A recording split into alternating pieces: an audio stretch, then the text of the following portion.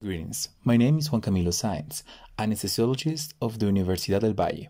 I belong to the developer group of the total intravenous anesthesia application created by Dr. David Ramirez. And below, I will present a case performed under total intravenous anesthesia using the application.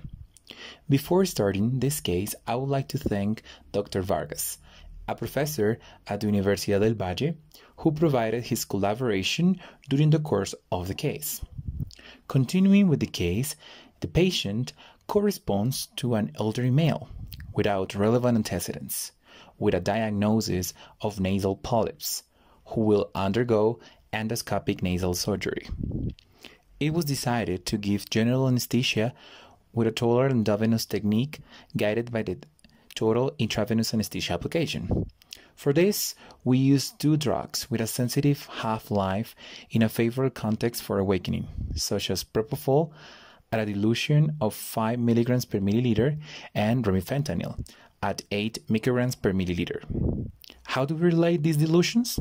First, we dilute a 2 milligram ampoule of remifentanil in 250 milliliters of saline solution and for the propofol in a albuterol, we add 20 milliliters of 10% and 20 milliliters of normal saline solution in a gentle way, avoiding bubbles. Below, we can see the patient's vital signs at the beginning of the procedure with a heart rate of 60 beats per minute and a blood pressure of 196 over 180 milliliters of mercury. It should be noted that he had neither a history of a diagnosis of hypertension nor any medication. It was considered that this figure was not associated with target organ injury, and anesthesia was continued without canceling the patient given the surgical opportunity in our area and controlled blood pressure figures during the anesthetic act. It should be also noted that this measure can be highly debated and we will not discuss it in this video. Next, we enter the patient's data by clicking on each of the parameters and typing it in the lower right keyboard of the screen. And finally, pressing continue.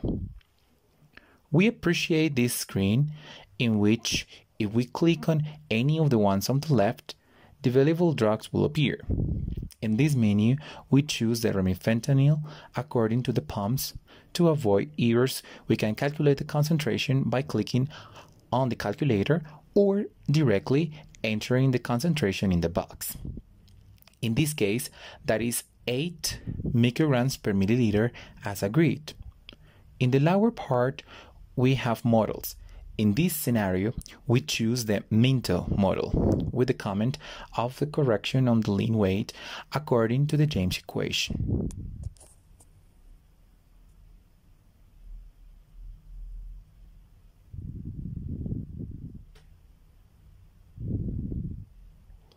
At the end, we press the green button, getting a new window in which we can adjust the induction time.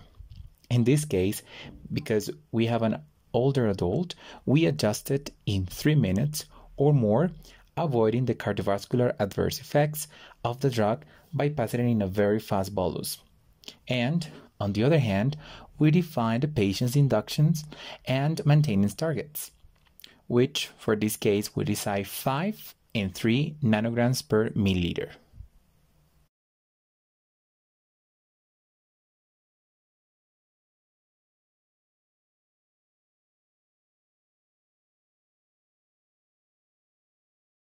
We press the green button and we get the infusion rates at which they are in order and we can also see for how long and how much volume will be infused. Therefore, we proceed to put the first two data in a pump that can give secondary infusions before the primary one and in this way send an infusion first and at the end automatically continue with the next infusion. We do it in the channel that we have destined for the remifentanil. In this pump that we have in three weights, we repeat the same process with the propofol. We agree that in the first menu we can change the concentration of the drug. In this case, at 5 milligrams per milliliter and choose the model that appears as a brief description of it and always use the models that we are familiar with. Finally, we approve with the green button getting a new window in which we can choose the induction time.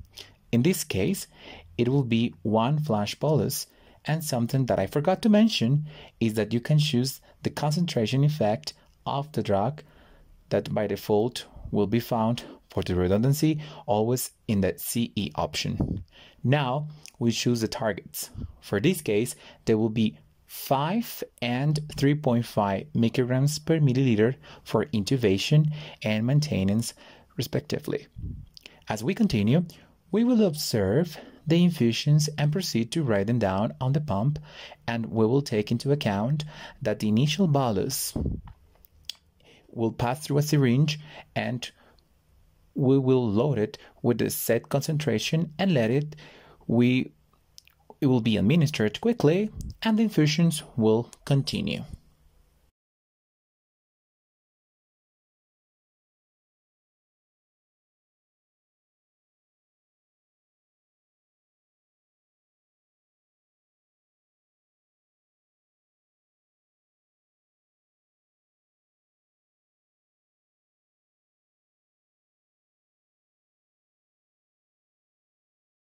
Now we start the induction. For this, on the monitor, we appreciate an initial bolus of 80 milligrams of propofol, which we had previously loaded into a syringe, and an initial remifentanil infusion of 267 milliliters to reach the target of 5 nanograms milliliter for 3 minutes. Therefore, for this, we have to put the application in real time, that is carry out as we see it on the screen. Activating the option on the left, the name of the drug, okay? We see that as soon as we activate it in real time we must give the first propofol bolus and activate the remifentanil pump. Later at approximately 2 minutes the application through an alert tells us to start the propofol pump at 131 milliliters which will be equivalent to 9 milligrams kilogram per hour. You can see this value under each infusion and this infusion will last for more than 10 minutes. This means that for more than 10 minutes you will not have to manipulate the infusion pump. While all of this is happening, we will be located at the bedside of the patient, ventilating, because we are proposing a sequence that is not rapid intubation. As the pump we are using has the secondary option, remifentanil, when reaching the, the indicated volume of 3 minutes, will be automatically changed to the next infusion that corresponds to 51.3 milliliters per hour, equivalent to 0.09 micrograms per kilo per minute for the proposed target of 3 micrograms per milliliter. Then, during this period of time, we will appreciate that the fall of the PSI index where the patient will be intubed. Well, as we observe in real time and 5 minutes after the start of induction, the patient is already intubated and in the process of fixing the tube, we don't need to make any changes to the infusion pumps so far. Now, I take this moment to show you some functions of the main screen of the application, where to the right of each model of the drug name in blue for remifentanil and yellow for propofol, the current concentration in the CE is observed below on the green line. From these models, the remaining time of the infusion and if we press each of the models, we can see the following infusions of each of these drugs at 15 minutes, indicating a change of the propofol pump infusion, for which we proceed to perform the same. However, we show that the PSI index tends towards the lower limit, for which we adjust the propofol target from 3.5 to 3 micrograms per milliliter. We do this by pressing the target option. The keyboard appears in the lower right part. We put 3 micrograms per milliliter and a time option appears. However, when you stop the level, this serves us because the body cannot be asked to metabolize the drugs faster or slower. Subsequently, we press concentration effect. We we refer to that CE and immediately tell us to stop the infusion pump and then start it at 87.8 milliliters per hour, which is equivalent to 6.27 milligrams per kilo per hour. During this period of time, the surgical instrument prepares the patient for surgery.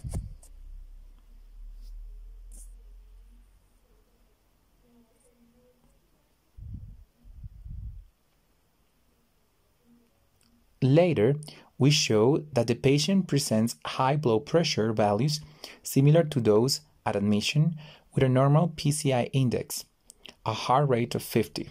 Therefore, we decided to increase the opioid dose of 4 nanograms per milliliter in 2 minutes. We can see that doing this process presents an error and I press stop diffusion of remifentanil.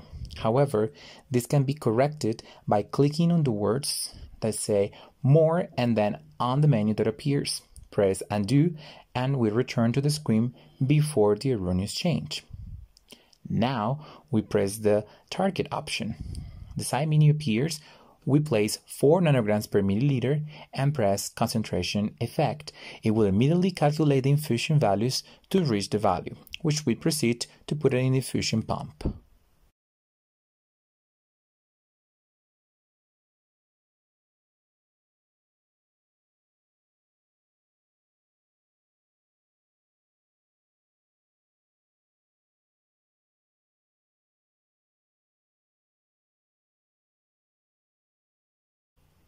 As we can see, after 2 minutes, it would indicate the change of the infusion for a lower one, but I'm going to exit the application to show you that even sends notification when the application or the cell phone are blocked.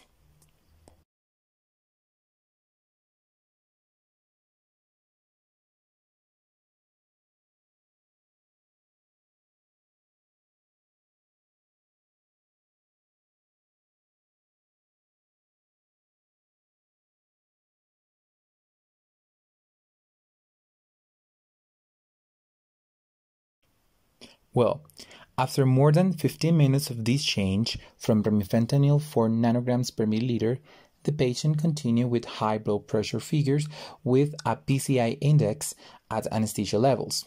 The heart rate did not show any change in the previous increment to remifentanil, for which reason we decided to inc increase the concentration in CE of remifentanil again to 4.5 nanograms per milliliter with the aim of reducing the patient's sympathetic activity and control of blood pressure, because in nasal endoscopic surgery, better bleeding control with adequate blood pressure figures is documented. Therefore, we press target again. We put 4.5 nanograms per milliliter for a time of 2 minutes and press concentration effect. It calculates us immediately to change the infusion to 110 milliliters per hour for 2 minutes and later go to 74.4 milliliters per hour, which is equivalent to approximately 0.14 micrograms per kilo per minute. Well, maybe I have ignored other medications that I have put to focus on infusions of remifentanil and propofol. These correspond to the start of induction a neuromuscular blocker of intermediate action, which in this case was rocuronium, in a dose of 0.6 milligrams per kilo to assist the intubation, in addition to the lidocaine 1 milligram per kilo intravenously as a coated in the intubation and at the end of the intubation, 4 milligrams intravenous of dexamethasone was administered. Bear in mind that the analgesic requirements of this surgery are low because the surgeon performs an infiltration with local anesthetics plus remifentanil about the pump. Finally, we can observe that after almost 30 minutes of the last modification of propofol, that we drop to a level of 3 micrograms per milliliter, it indicates us to change the infusion. I highlight this because I want to show that the changes are not so frequent to be all the time as well stuck with a pump. In the video, it seems that they were frequent because I have taken the sequence of all the changes and I have put them in order so that you see the changes that I have made over time during this anesthetic act. Well, we observed that the PSI index is towards the lower limit, so we decided to adjust the propofol by decreasing the concentration in, this, in the concentration effect. However, as we observed, I was wrong.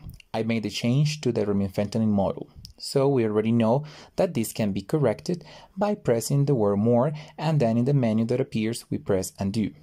Now, if we make the change on the propofol module, lowering the level to 2.5 micrograms per milliliter, let's agree that we press target, mark the desired target, and then press concentration effect. Therefore, it tells us that we must stop the infusion pump for a certain time and then restart at 62.6 milliliters per hour.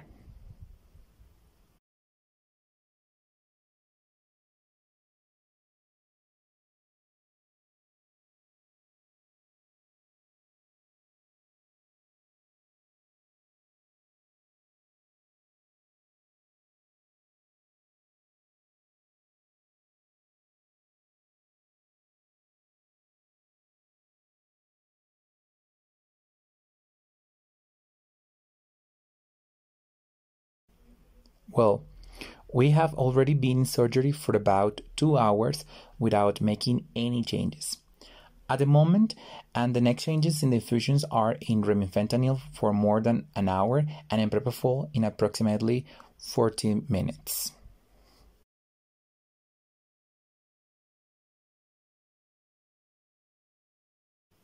However, we continue with the PSI level towards the lower limit with the vital signs unchanged, for which we decided to adjust the level of propofol to 2.3 micrograms per milliliter, for which we press again on the propofol module, then press targets, mark 2.3 micrograms per milliliter, and press concentration effect. The following changes appear in the propofol infusion pump. We shall stop the pump, then restarted at 57.4 milliliters per hour, which is equivalent to 4.1 milligrams per kilo per hour.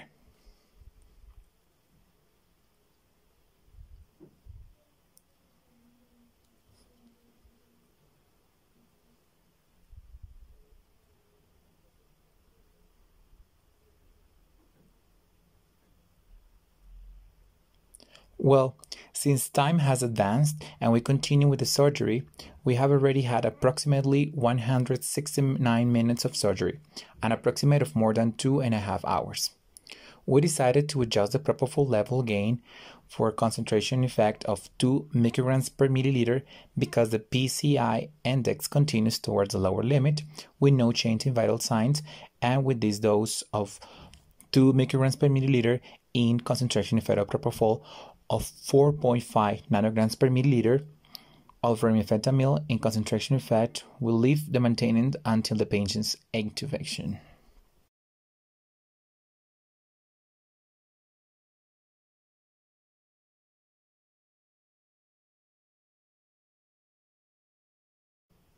Well, because we have already finished the entire surgery procedure after 200 minutes of surgery and we proceed to extubation.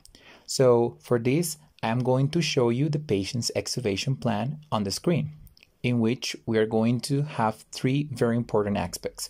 The first one changes the remifentanil target from 4.5 nanograms milliliters to 2.5 nanograms milliliters in order to reduce the unwanted reflexes such as coughing during extubation. Secondly, we observe that decreasing time if we stop the infusion of propofol that is for a target of 2 micrograms per milliliter and how long it takes to reach a microgram per milliliter, where we preceded that it can be the awakening of the patient according to their behavior during anesthesia.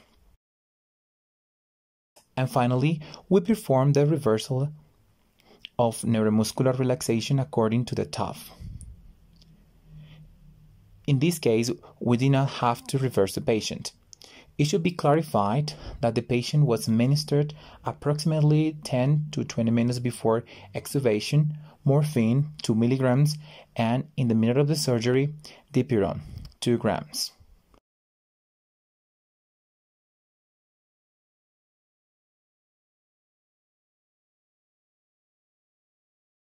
As we clearly observed on the screen, we made the change of remifentanil 2.5 nanograms per milliliter as already we have previously mentioned and we follow the instructions given.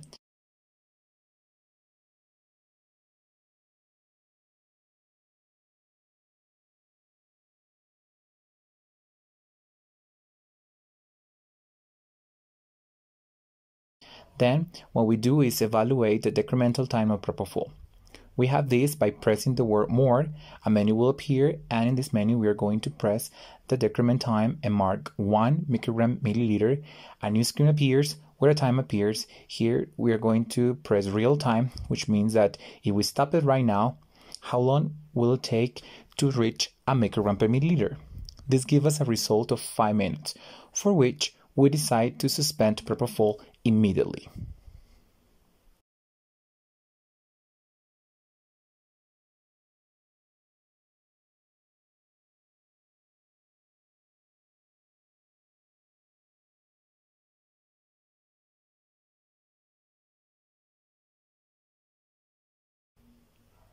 In this period of time, the patient's airway is evaluated to clean or remove a possible Q strange object that may remain during the surgery and it was also aspirated to avoid secretions.